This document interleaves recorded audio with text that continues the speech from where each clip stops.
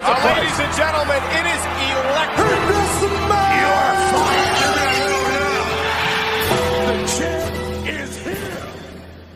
ഈ വരാൻ പോകുന്ന സ്മാക്ക്ഡൗൺ എപ്പിസോഡിൽ android giant memorial battle royal match W W confirm ചെയ്തിട്ടുണ്ട്. അപ്പോൾ ഈ മാച്ചിൽ ആർക്കാണ് വിജയ സാധ്യത കൂടുതൽ? ഈ മാച്ചിൽ എന്താണ് സംഭവിക്കാൻ ചാൻസ് ഉള്ളത് എന്ന് നോക്കാം. അതുകൂടാതെ അതേ സ്മാക്ക്ഡൗൺ എപ്പിസോഡിൽ intercontinental championship triple threat match ആയിട്ട് കൺഫേം ചെയ്തിട്ടുണ്ട്. ആ മാച്ചിൽ ആർക്കാണ് വിജയസാധ്യത കൂടുതൽ എന്നും ഈ വീഡിയോയിൽ നോക്കാം. അപ്പോൾ ഇതെല്ലാം റെസൽമീനിയയിൽ നടക്കേണ്ട മാച്ച് ആയിരുന്നു. ഇതിൽ ഫസ്റ്റ് ഇന്റർ കോണ്ടിനെന്റൽ ചാമ്പ്യൻഷിപ്പ് മാച്ചിനെ പറ്റി നോക്കാം. ഈ മാച്ച് നടക്കാൻ പോകുന്നത് ഐ സി ചാമ്പ്യനായ Ricochet versus Angel and Humberto ഇവർക്കാണ് ഈ മാച്ച് നടക്കാൻ പോകുന്നത്. അപ്പോൾ ഈ മാച്ചിനെ പറ്റി നോക്കുമ്പോൾ ഈ മാച്ച് എങ്ങനെ നടന്നാലും ഈ മാച്ചിന്റെ അവസാനത്തിൽ റിക്കോഷേറ്റ് തന്നെ സ്റ്റിൽ ചാമ്പ്യൻ ആകാനാണ് ചാൻസ് കൂടുതൽ. അഥവാ ഈ മാച്ച് സ്മാക്ഡൌൺ എപ്പിസോഡിൽ വെച്ച് സ്റ്റോപ്പായി പിന്നീട് റെസൽമീനിയയിൽ നടന്നാലും ഇതേ റിസൾട്ട് തന്നെയാണ് വരാൻ പോകുന്നത്. കാരണം റിക്കോഷറ്റിന് ചാമ്പ്യൻഷിപ്പ് കൊടുത്ത് പെട്ടെന്ന് തന്നെ തോൽപ്പിക്കുമെന്ന് തോന്നുന്നില്ല. പിന്നെ എന്തുകൊണ്ട് സാമി സൈൻ തോറ്റു എന്ന് നിങ്ങൾ ചോദിച്ചാൽ സാമി സൈനിന് ജോണി നോക്സിലയുടെ കൂടെ മാച്ച് ഉള്ളതുകൊണ്ടാണ് സാമി സൈൻ ആ മാച്ചിൽ തോറ്റത്.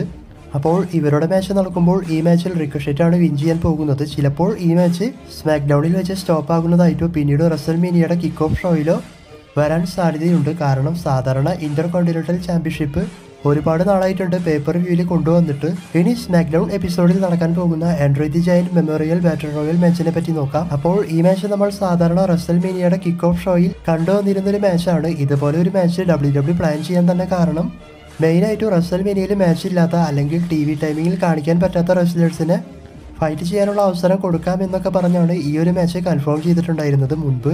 പിന്നീട് ഇതെല്ലാ വർഷവും കണ്ടിന്യൂസ് ആയിട്ട് നടത്തി അതിൽ ഏറ്റവും കൂടുതലായിട്ടും പവർഫുൾ ആയിട്ടുള്ള റെസ്ലേഴ്സ് വിൻ ചെയ്യുന്നതായിട്ടാണ് കാണിച്ചിട്ടുള്ളത്. ഉദാഹരണം സെസാറോ ബ്രൗൺ സ്ട്രോമൻ പോലെയുള്ള റെസ്ലേഴ്സ് അപ്പോൾ അതേപോലെയാണ് ഈ വർഷവും സ്മാക്ഡൗൺ എപ്പിസോഡിൽ ഈ മാച്ച് കൺഫേം ചെയ്തിട്ടുള്ളത്. ഈ വർഷം റസൽമീനിയിൽ വരുമെന്നാണ് വിചാരിച്ചത്. എന്നാൽ നെക്സ്റ്റ് വീക്ക് സ്മാക്ഡൗൺ എപ്പിസോഡിൽ ഈ മാച്ച് കൺഫേം ചെയ്ത് വെച്ചേക്കാണ്. അപ്പോൾ ഈ മാച്ചിൽ മത്സരിക്കാൻ പോകുന്ന കുറച്ച് റെസ്ലേഴ്സിന്റെ പേര് മാത്രമാണ് ഡബ്ല്യു ഡബ്ല്യു പറഞ്ഞിട്ടുള്ളത്.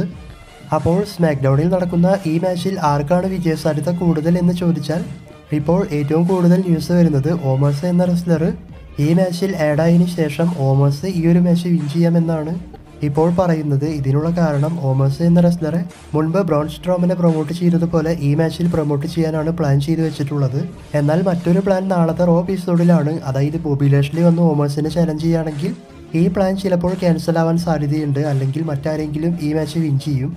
നാളെ ലാഷ്ലി വന്ന് ഓമാസിനെ ചാലഞ്ച് ചെയ്തിട്ടില്ല എങ്കിൽ ഓമാസാണ് എൻഡ്രൈതി ജയന്റെ വിൻ ചെയ്യാൻ പോകുന്നത്.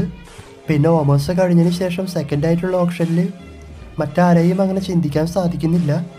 പിന്നുള്ളത് commanders Azeez Apollo Crews Finn Balor Damian Priest ഇവരൊക്കെയാണ്. അപ്പോൾ ഇതിൽ ഫിൻ ബാലർ ഡാമിയൻ പ്രിസ്റ്റ് ഇവരെ നമുക്ക് ഒഴിവാക്കാം.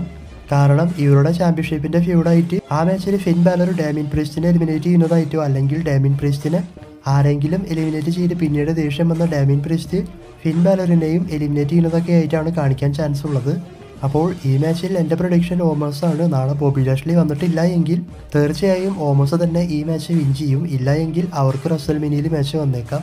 അപ്പോൾ ഈ മാച്ചിൽ ആരാണ് വിജയിക്കാൻ സാധ്യതയുള്ളത് എന്ന് നിങ്ങൾ കമന്റ് ചെയ്യുക.